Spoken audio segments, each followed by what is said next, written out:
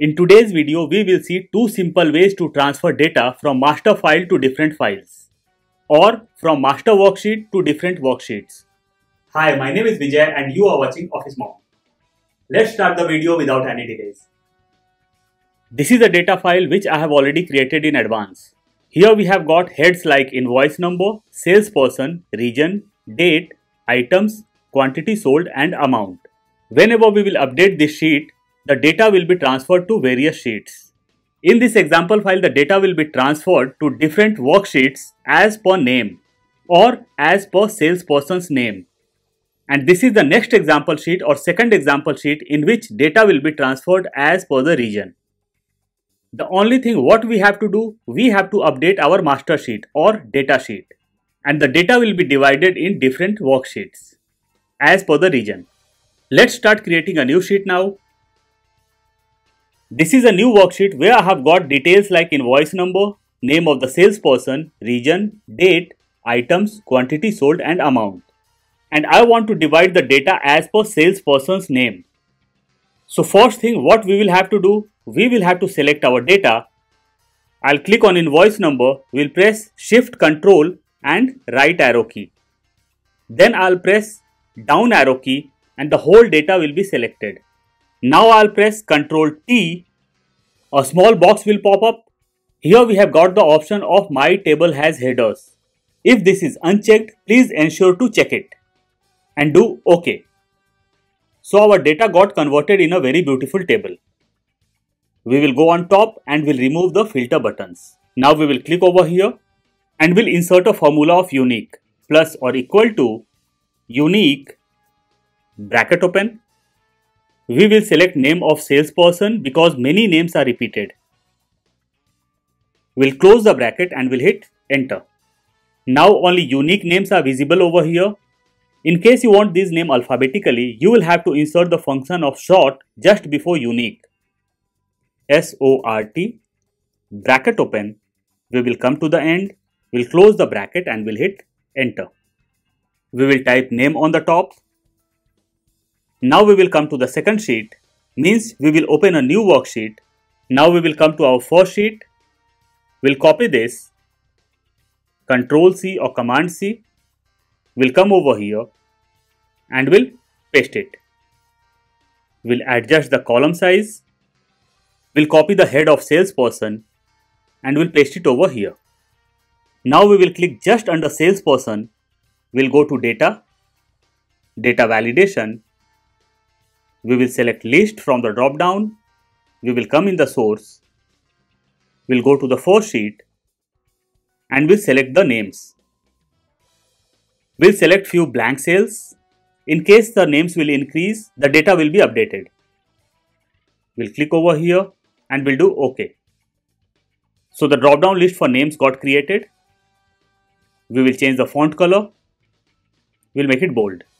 Now we will click just under invoice number and we'll insert our formula and the formula will be plus or equal to filter bracket open array. We will go in data sheet and we will select the whole data.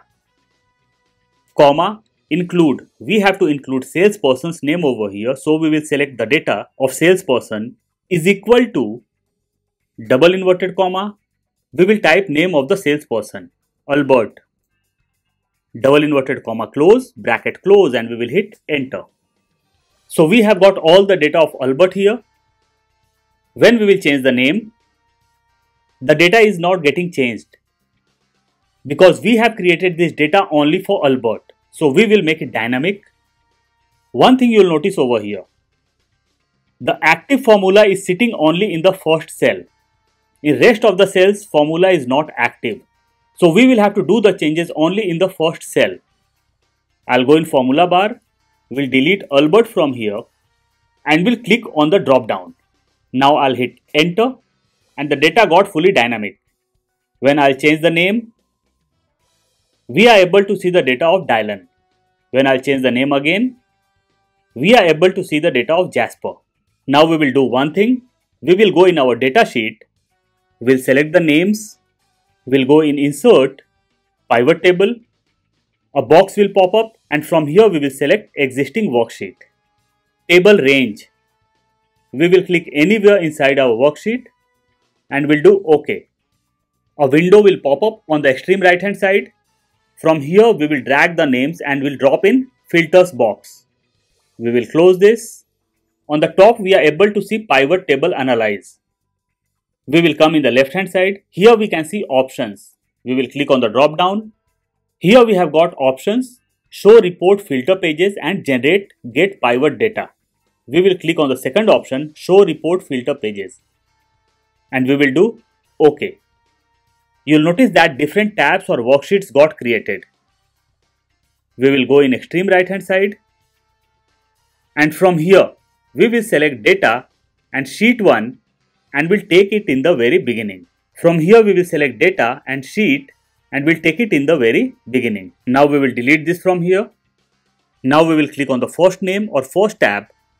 We'll press shift and we'll go to the extreme right hand side and we'll click on the last name. So all the tabs got selected.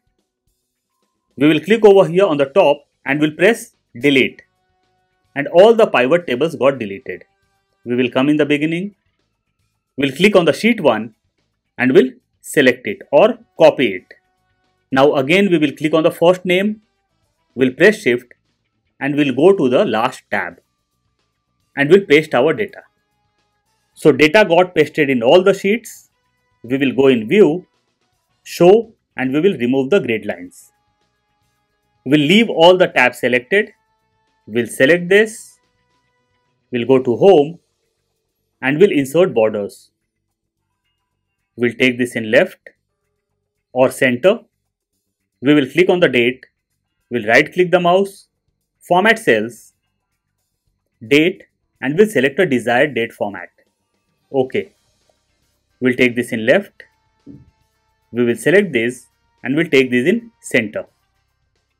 Whatever changes we are doing in this sheet, the data is getting updated in all the sheets. We'll make this bigger, we'll make the font size bigger. We'll take this in center, we'll increase the column size. Now we will come in the beginning and we'll click on data. Now all the tabs got unselected and all the tabs or worksheets are updated. Now we will click on first sheet and we'll change the name from here, Albert. We'll click on second sheet and we'll change the name, Alexander. Third one, Aston and in the same way we will change all the names.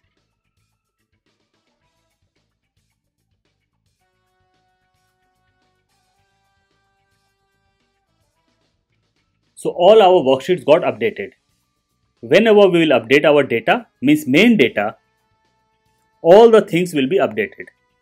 We will do some entry over here and we'll check how it works. Invoice number, I'll enter 500. Name, I'll select this. Region, East. Date, I'll drag this. Items, watch. Quantity sold, 500 amount 75,000. Now we will go in the worksheet of Mason and we'll check the data. Invoice number 500, items watch quantity sold 500, amount 75,000. So this is the first way in which you can transfer data from master sheet to rest of the sheets. Now we will see the second way to transfer data from master sheet to rest of the sheets. This is our data. We will copy the heads Control C or Command C We will open a new worksheet and we'll paste it over here. We'll adjust the cell size or column size and we'll type helper over here. We'll select the whole row. We'll take all the things in center. We'll change the font size and we'll make it bold. Now we will click on region. We'll copy this and we'll paste over here. We'll click next to the region. We'll go to data data validation, list and in source we will type name of all the regions east, west, north, south and we'll do OK. So our drop down list got created. Now we will click just under helper and we'll insert our formula and the formula will be plus or equal to if bracket open we will select the region, we'll press function F4 and the cell will be logged is equal to we will go in data we'll select the first region, comma, we will select the invoice number, comma, double inverted comma twice, bracket close and we will hit enter. So we got our invoice number over here in helper. We'll go to home. We'll take this in center. Invoice number.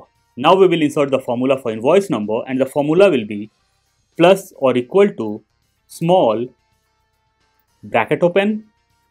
We will select helper column. We'll press function F4 and the cells will be logged, comma. We will insert the second function and that is rows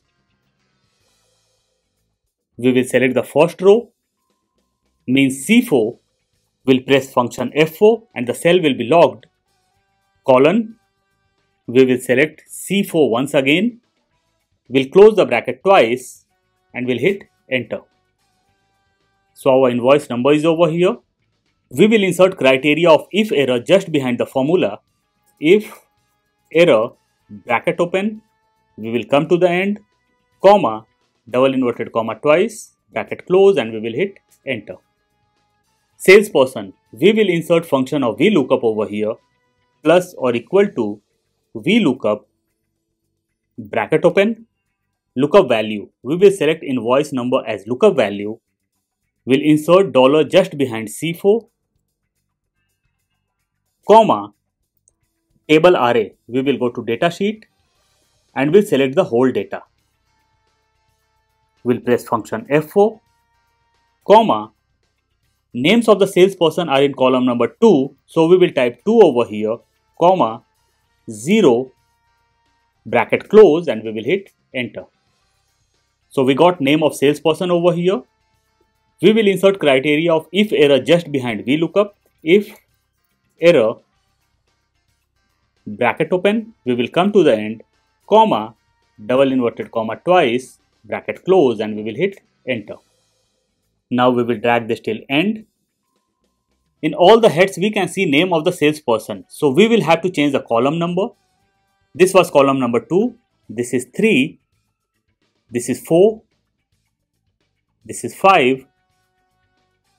This is 6. And this is 7. We will click on top of date. We'll right click the mouse format cells, date and we will select a desired date format. OK. We'll take this in center. We'll select this and we'll take this in center. Now we will select this and we'll insert borders or we'll create borders. Now we will select this.